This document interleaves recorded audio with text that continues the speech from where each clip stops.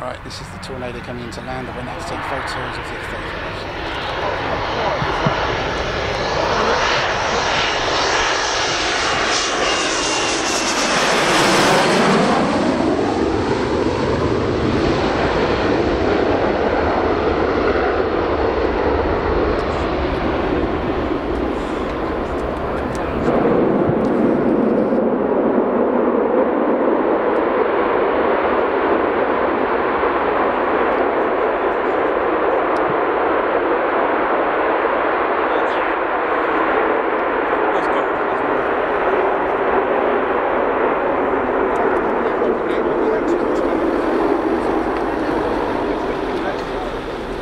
that one came out.